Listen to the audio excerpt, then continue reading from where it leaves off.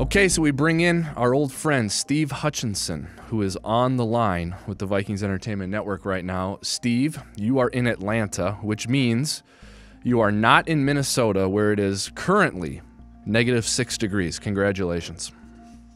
Yes, yes, it's uh, thank you for that. Um, I've been there, I've done that. I, I feel bad for you guys. Although, you know, the only thing I could say is when this little whatever they call these now polar vortexes, I, I think we should call them cold fronts. Yeah. Um, when they when that comes through and then pushes on through, and it gets back to 30, everybody will be sitting outside, uh, you know, eating eating in a sweatshirt Yep. uh, on the patios at all the uh, along the lake and stuff. Because when you go to 50 below and then you come back to normal temperatures, you, you it's not so bad.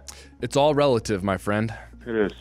I'm sitting here at the TCO Performance Center with one of Dennis Ryan's patented white coffee cups, which makes me think of you. You've done that many, many times. Yeah.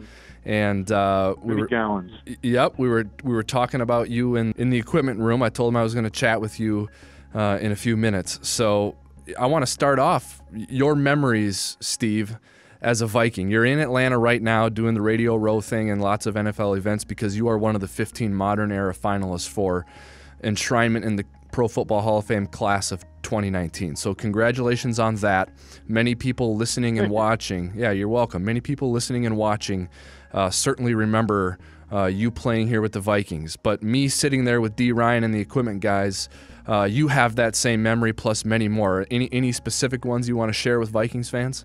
you know that's the that's the behind the scenes thing that that fans really should at some point you know get to see and i I- i'm not a i to be honest with you i, I got to make a confession. I, I don't watch hard knocks but i've i've seen some clips where i think maybe um that's the type of things they would show you behind the scenes footage. And and some of my best memories of in my 12 years have all has been in the, in the equipment room of whether it be Seattle or Mm-hmm. Tennessee or Minnesota, and you know playing playing cribbage with Burke and Fred, the late Fred Zamberletti, the late great Freddie Z, Yep. and um, you know just four guys that are just talking crap that you know just trying to pass time in between. We got to go out in the heat of training camp or.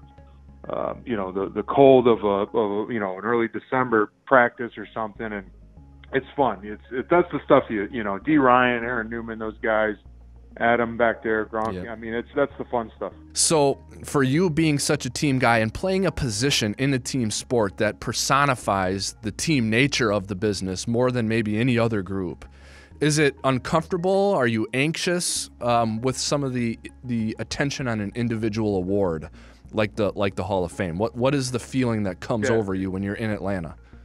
it is definitely different. You know, we, we've been accustomed, like you said, you play a position that pretty much is the epitome of teamwork on a probably the most recognized team sport in, in there is. You know, Mhm.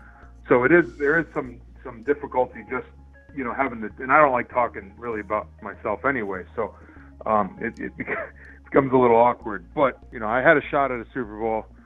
Um, I'm pretty sure everybody in, in out there listening to this remembers the 09 season where we, we you know, woulda, shoulda, coulda. Yep. But my career's over, right? And so I can't win a Super Bowl ring. And you know, I have a lot of friends that have them, and, and frankly, I'm jealous of them. But I can't win that. And so right now, you know, to put closure to a career, a career that I, I thought was fortunate to have, to put closure on that and, and be accepted in a group of guys that I looked up to my whole life. I watched on TV as a kid. Uh, to be in that same fraternity, um, I, I think that that's a big deal, and I can't really explain, put in words how big a deal it is, but it is is a, a tremendous deal to me um, to have that, you know, be potentially something that I'll find out here in the next couple days. Yeah. It's something as an especially as an offensive lineman, you know, you you're kind of used to being able to control the situation of your destiny, right? I mean, you, you're going to set the tone. It all, it all, you know, all the cliched football talk, set the tone, win it in the trenches, control line of scrimmage. So that was always deemed it was up to us if we were going to win the game or not. And so here it's the opposite. You know, you're Yeah. sitting back and you're you're letting a lot of guys um, take your fate, and, and it's completely out of your hands. So it's it's an awkward feeling. It's a it's a it's a weird feeling, uh, and it's also a helpless feeling Yeah. to some degree. I think there are a lot of things, Steve, that if someone was going to go into the the voters' room and make a case for you, there's a lot of things someone could point to, and I have a sheet that uh, the great Tom West has put together with some of your accolades and some some supporting information for you. Um, you know, an example: no no running back had more 100 yard rushing games or rushing touchdowns than did Shaun Alexander when you were blocking for him. No running back had more rushing touchdowns, and only one running back had more 100 yard rushing games than Adrian Peterson when you were blocking for him. And, you know, I was talking with Dennis about the playoff game the Vikings played against Seattle. Uh, after the 2015 season, and we were talking about, you know, it was, it was the missed field goal uh, at the wire. And we were talking about, you know, and I said, yeah, it's just, it's hard to win in this league. And and Dennis said, yep, and it's even harder to lose. You know, and I think that was. Uh, a good point by Dennis that you know the margin between victory and defeat in this league is so razor thin, and um, and you were someone, Steve, who won a lot on an individual level, and and you were on good teams during your career. Hopefully, it will result in uh, you know, being enshrined as a member of the class of 2019 for the Pro Football Hall of Fame. I don't like working on the weekends during the off season, but if this Saturday night I have to fire up the computer and work a little bit on your behalf, um, I'd be happy with that, Steve. Thanks for your time, man. Well, Wobby, I appreciate that. Thank you. And, yeah. Uh, you know, you guys take care and you stay warm up there.